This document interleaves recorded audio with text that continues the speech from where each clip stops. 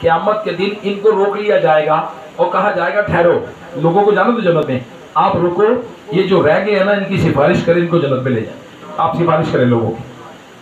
उलमा को, बामल उलमा, लेकिन जो बेअमल उलमा होंगे, अल्लाह अकबर जालिक, उनकी तो बड़ी वजह बयान की गई है। तो उलमा को कहा जाता है बामल बने। अच्छा ताजिरों को क्या कहा जाता है? दयानतदारी से काम करें।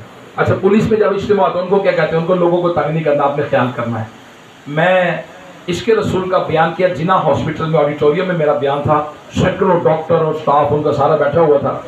मैंने उनसे कहा कि देखें नबी पाक सल्लल्लाहु अलैहि वसल्लम की मोहब्बत का बयान किया है मिलाद का मैंने बयान किया है। अब आपने ये देखना है कि अगर आपको सीएम ऑफ़िस से वज़ीर अला के दफ्तर से प्रिंसिपल सेक्रेटरी टू सीएम एक कार्ड पर लिख कर भेजे कि प्लीज़ इस, इस टेक केयर ये जो मरीज़ आया है इसका आपने ख्याल करना है। वज़ीर वज़ीर अला के सेक्रेटरी का आपके पास कार्ड आ जाए आप मुझे बता क्या करेंगे? स्ट्रेचर लेके बाद ही भागेंगे। जी व्हील चेयर लेके बाद ही भागेंगे या फिर बड़े बड़े अफसर? फिर उसको जाके बड़ा प्रोटोकॉल देंगे बड़ी इज़्ज़त के साथ उसका इलाज करें। जी सर कुछ चाहिए? उसके लिए दवाई मंगवाएँगे बाज़ार से? नो नो नो सारा को निकाल लेंगे। नर्सें बाकी आएँगी डॉक्टर बाकी आएँगे। वो वजी अला साहब से सिफारिश है। वजी अला साहब ने पैगाम भेजा है इसको सही करना है।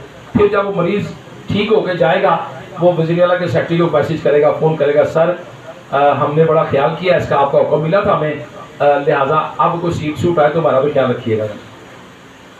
ऐसे ही